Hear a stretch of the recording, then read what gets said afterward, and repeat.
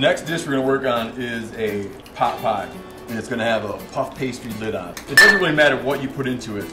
Meat is key, but I'm gonna run with mushrooms, celery, carrot, pearl onion, potatoes, peas, some fresh herbs. The carrots need a little bit of softening yet. So I'm gonna do them in this pan. At the same time, I'm gonna start browning a pound and a half of the ground meat mixture. Want to add celery, mushroom, parsley, thyme, a little bit of oregano. Now I have the, the potatoes, I pre-softened by boiling them a little bit.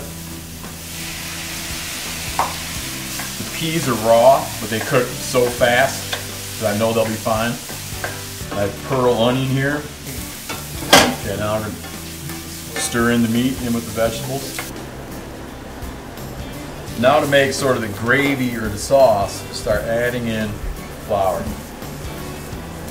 You want to get it where everything seems to have a slight bit of a coating of flour on it. It's not stew, it's thicker than stew. Finally, I'm going to add in some tomato paste. Stir that around very good. And at this point, you want it on low heat because you don't want to burn it. Once everything's right, and you kind of like the looks of it, you like what's in there, you got this thickness, go ahead and fill your ramekins. It has to be an oven safe receptacle. To top the pot pie, I'm gonna make a simple puff pastry. And this stuff is made in a food processor. It's just flour, sugar, salt. What I put in there, instead of using regular pork lard, is I put in a lard made from black bear fat.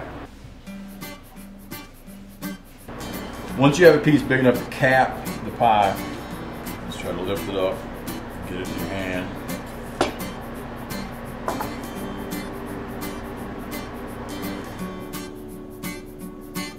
Have definitely have some extra so your sides can fall away. When you crimp it on there, don't let it hang over the edge too far because those pieces will burn. Once those are topped, just brush it with egg white. And the last thing, take a fork and cut a little vent in there. So we'll put it in a lower oven and just watch and you want to pull it out at the moment when this crust seems on the verge of burning. It starts to resemble sort of the outside of like the perfect loaf of bread or the perfect baguette, that kind of color to it.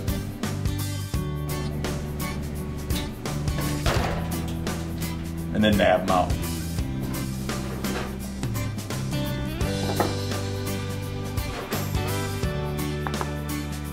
These turned out very crinkly and nice. And then dig in there, it's perfect. It's very wintry. You'd never have a bunch of dudes over on 4th of July and serve up pot pies. I mean, this is something for after a cold November hunt, a cold December hunt. That's when it's most satisfying.